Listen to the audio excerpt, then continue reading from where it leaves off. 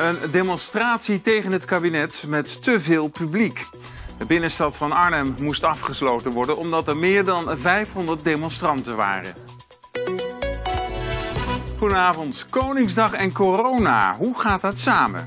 Nou, helemaal niet zo slecht, want het was gezellig in de provincie. Ik vind het echt leuk dat ze hier wat georganiseerd hebben op, op deze bijzondere Koningsdag.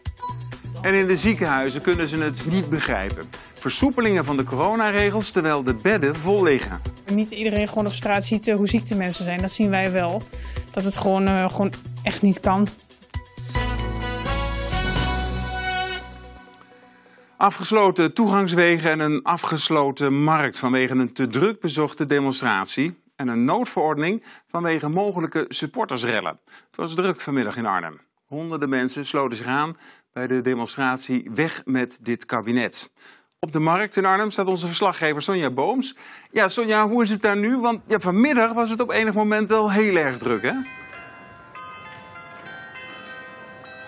Ja, dat klopt. Ja, op dit moment is het uh, heel rustig. De demonstratie duurde tot vier uur vanmiddag en mensen zijn toch echt wel het plein afgegaan. Een paar kleine clubjes mensen die nu, nog een beetje genieten van de zon. Uh, vanmiddag was dat heel anders, het beeld hier op het Marktplein. Want uh, burgemeester Marcouch die had toestemming gegeven om de voorwaarden om de demonstratie van Nederland in verzet door te laten gaan. En dat betekende dat er maximaal 500 man hier was toegestaan. Oranje stippen waren aangebracht om die anderhalve meter afstand hier te bewaren.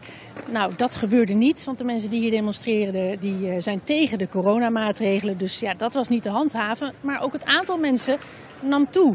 Gaandeweg de middag kwamen er veel meer mensen bij die het plein op wilden. Er was ook een lichtbak te zien van de markt is vol en ga hier weg. Uh, nou, dat gebeurde niet. Er was ook op een gegeven moment een, ja, een opening zeg maar, met de zwarte schermen die waren aangebracht. Uh, een opening waar mensen toch doorheen braken om zich bij deze menigte te voegen. Dus al met al werd het toch een heel stuk drukker dan verwacht. exacte aantallen weten we niet, maar uiteindelijk zijn toch zeker tegen de duizend mensen naar verwachting hier op het plein geweest. En vanmiddag vroeg ik de organisator waarom er deze demonstratie nou precies was. Ja, wij staan hier gewoon tegen het algemene beleid van uh, kabinet Rutte. En of dat nou drie of vier is, dat maakt niet uit. Uh, ik roep al vanaf 2018 dat het heel slecht is. En uh, het is en blijft heel slecht. Tien jaar wanbeleid. Het is niet de eerste locatie waar u de demonstratie organiseert. Dat is eerder natuurlijk ook al ergens anders geweest. Nu hier in Arnhem, wat is de reden om hier in Arnhem dan juist ook te willen demonstreren? Nou, we hebben 14 weken in Amsterdam gestaan. Uh, daar hebben we te maken gemaakt met buitenproportioneel uh, uh, politiegeweld. Afspraken gemaakt en dan toch om vijf of vier nog ingrijpen terwijl wij om vier uur weg zouden gaan. We hebben ook gezegd dat we tegen geweld zijn. En ja, op een gegeven moment moet je voor een andere weg kiezen. En we hadden deze weg al gekozen en toen wou Halsma het Museumplein afsluiten. Maar we gaan nu landelijk, dus hierna komt Den Bosch en na Den Bosch komt Apeldoorn en zo gaan we heel Nederland door.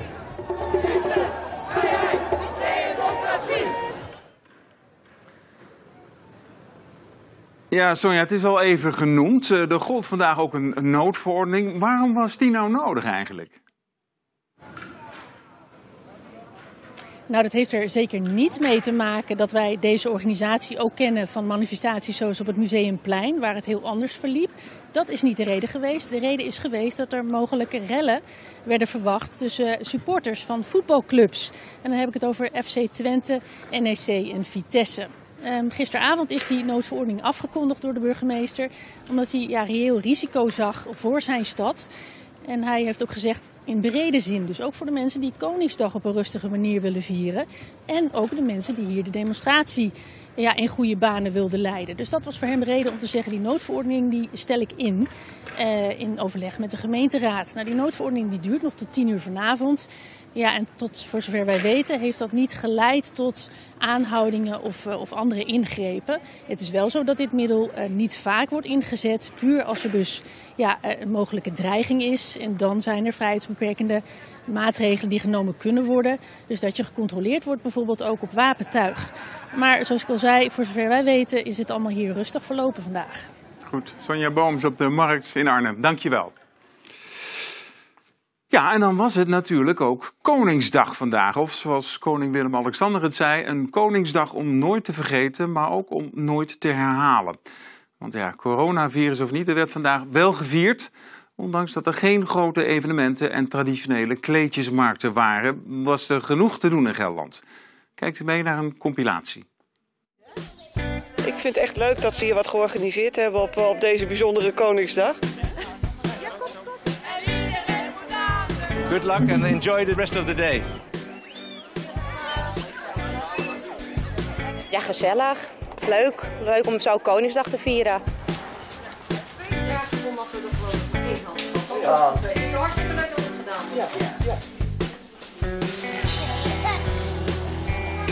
Eventjes toch, uh, ondanks alle maatregelen, eruit. Lekker hoor. Duckjes, snacks, uh, dvd-spelers tot lampen. Dat zoveel volk zou zijn, hadden wij niet op gerekend.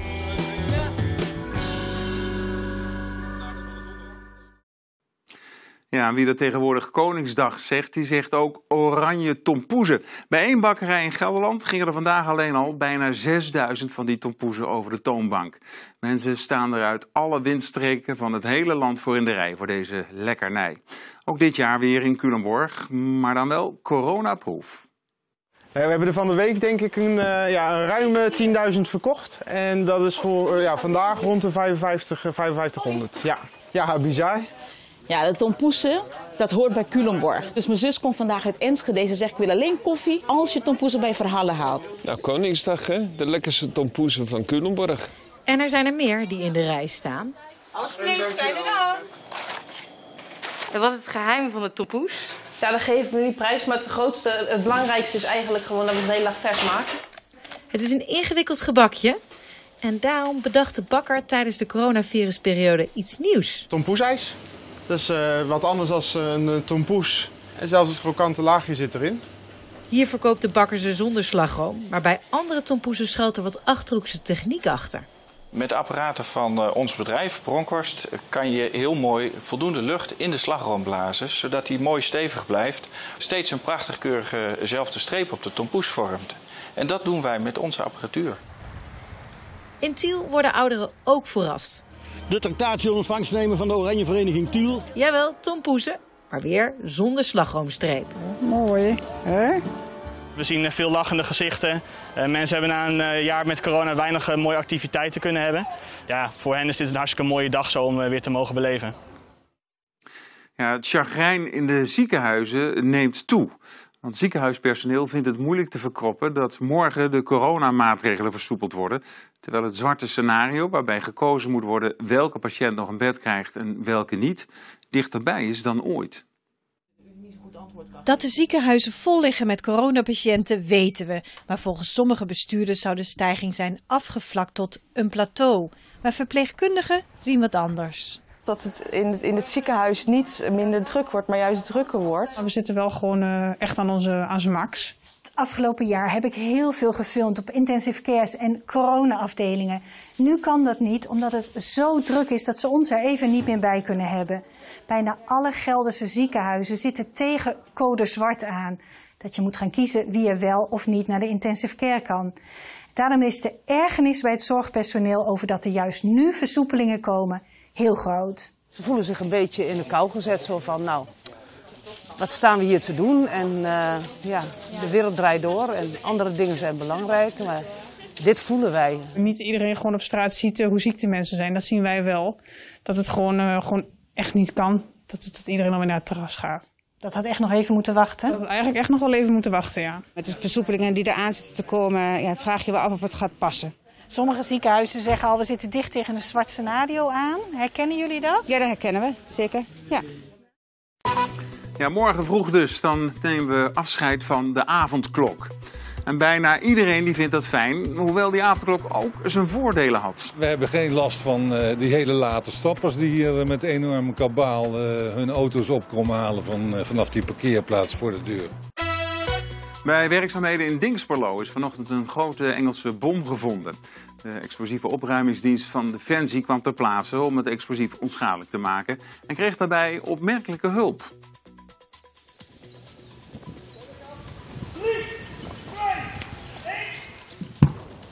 De brisantgranaat werd gevonden bij werkzaamheden aan een nieuw huis aan de Kwikkelstraat. De omgeving werd ruim afgezet tot aan de Duitse grens. En dan mochten geen mensen in de buurt komen. Nadat het explosief was uitgegraven, werd hij in het buitengebied van Aalten tot ontploffing gebracht.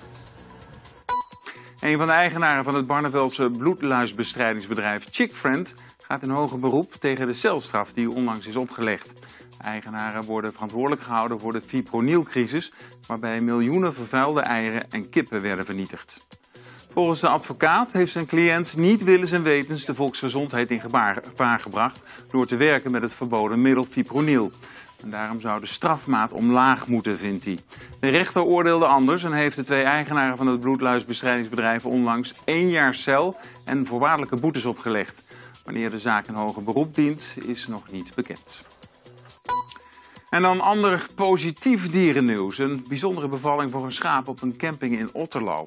Daar kreeg de moeder namelijk een vierling. De geboorte verliep spoedig, maar de eigenaren hadden niet verwacht dat er zoveel kleine schaapjes ter wereld zouden komen. Normaal gesproken krijgt een schaap maar één of twee lammetjes. En dus hebben Walter en Carlijn de komende tijd hun handen vol. Dat wordt nog wel een dingetje, want die moeten we waarschijnlijk nog even een beetje gaan bijvoeren. Want uh, in principe heeft een schaap maar gewoon twee spenen, dus tel maar uit, dan komen we er twee tekort. De turnwereld werd afgelopen jaar opgeschrikt door meer dan 200 meldingen over wantoestanden. Morgen verschijnt een rapport over het misbruik. Renald Major uit Weel heeft een stichting voor sporters die worstelen met klachten en heeft veel contact met turners die nu, jaren later, nog steeds problemen ondervinden van wat hen is overkomen. Major werd als tiener seksueel misbruikt bij Vitesse en heeft nu een stichting en een platform om andere sporters te helpen. Sinds het turnschandaal is hij daar druk mee. De turnsters die ik heb gesproken, uh, daar is het niet zo heel erg goed uh, mee met hun welzijn. Zeg maar. Dus die zijn gewoon echt uh, psychisch en lichamelijk gewoon echt ja, dusdanig beschadigd. Dus dat, hè, dat, dat sommigen ook gewoon echt niet meer kunnen, kunnen functioneren. Turners zijn relatief jong als ze op het hoogste niveau presteren. Veel coaches lieten zich inspireren door succes uit Rusland en gingen met die trainingsmethode over de grenzen van hun jonge talenten. En dat, dat er ook ouders zijn zeg maar, die met een uh, schuldgevoel uh, kampen. dus je hebt een, uh, ouders die echt oprecht niets wisten zeg maar, van wat er zich voordeed binnen het, binnen het turnen. En hun kinderen zeg maar, op goed vertrouwen elke keer afleveren bij de, bij de sportclub. En daarna weer ophalen. Maar je hebt ook ouders die wel degelijk wisten dat um, het niet um, heel erg oké was wat er uh, gebeurde binnen de turnzaal. Maar eigenlijk min of meer gewoon hun ogen dichtknepen. Vanaf morgen kan er weer zonder afspraak gewinkeld worden. En tot 6 uur mag er een terrasje worden gepakt. Alles nog wel onder de nodige voorwaarden. De Arnhemse binnenstad bereidt zich voor op de toestroom van bezoekers. Deze kant is de goede kant. Hè, dan blijf je aan, aan de rechterkant. En als je uh, links gaat lopen, dan zie je een kruis en dan zie je de verkeerde kant. Dus uh, blijf zoveel mogelijk rechts. Ja, kijk erin. Ja, kom erbij. We gaan weer uh, de bestikkering op de straten doen. We gaan de terrassen vergroten op anderhalve meter hebben we alweer gedaan. Ook omdat natuurlijk de situatie, het, is, het, is, het is nog steeds ernstig. maar we denken toch, als ik het Rijk goed heb beluisterd, dat we dat buiten, ook in de winkels weer op een veilige manier kunnen doen. Ja, de winkels weer open en ook de horeca mag morgenmiddag open. Een enkeling blijft dicht, maar heel veel uitbaters hebben ernaar gesnakt. Klanten bedienen op je eigen terras, zoals in Nijmegen. Gaat het allemaal goed, heren? Vooralsnog wel. Ja, we krijgen nieuwe zonneschermen, dat het ook uh, functioneel is uh, voor uh, als het slechter weer wordt dadelijk. We hebben 20 tafels van twee personen uitgezet. En we hebben stoelen klaarstaan om eventueel vier personen aan één tafel te plaatsen als het één huishouden is. We moeten natuurlijk alles schoonmaken, de schermen nog mooi poetsen, bieren aansluiten. Hier in het Tiemenpark mogen we deze zomer weer een extra pop-up terras voeren. We zijn zelfs een beetje zenuwachtig van alle spanning. Het is toch zeven maanden geleden, dus kunnen we nog een dienblad vasthouden, kunnen we nog een biertje tappen. Ja, dat vraag ik me ook af. Ik denk dat ze het zo gaat laten zien jou.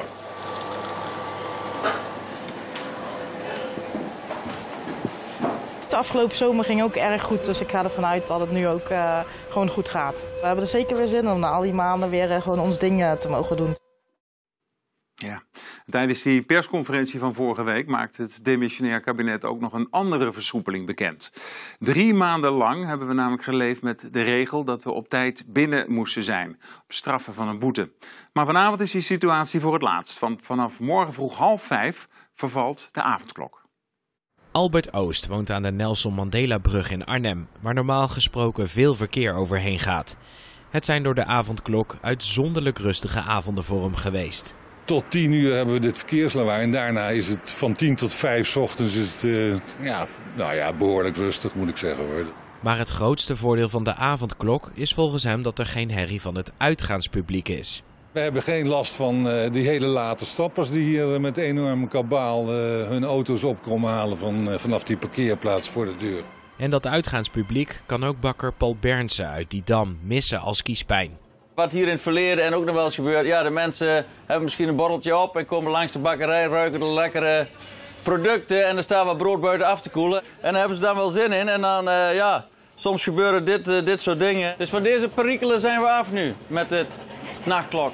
Toch vindt Oost het ook wel weer genoeg geweest. Ik vind het ook geen leven zo, hoor, moet ik eerlijk zeggen. En, uh, je bent niet echt helemaal vrij van, met deze, in deze situatie. Hè? Ja, voor wie vanochtend vroeg uit de veren was, had de natuur een mooie beloning. Er scheen namelijk een supermaan over Gelderland en dat levert mooie plaatjes op. De supermaan is de grootste volle maan van dit jaar. En dat betekent dat vandaag, op Koningsdag, de afstand van de aarde naar de maan het kleinst is. Al is de afstand nog altijd 350.000 kilometer. Dat vertelt Weerplaza. Ja, Weerplaza weet ook wat voor weer het morgen wordt. Vannacht is het helder en bij weinig wind daalt de temperatuur tot rond nul. Op beschutte plaatsen kan mist ontstaan. Morgen dan schijnt eerst de zon volop en later neemt vanuit het zuiden de bewolking toe. Uh, maar tot de late avond blijft het droog. Het wordt maximaal 17 graden. Ja, vanaf donderdag dan is het een stuk kouder. De wisselvalligheid neemt toe met donderdag ook kans op onweer. De nachten worden wel dan minder koud. En dit was het Gelders nieuws op Koningsdag 2021. Op onze site en onze app natuurlijk meer nieuws. Onder meer over die grote demonstratie op de markt in Arnhem. Ik wens u nog een fijne avond.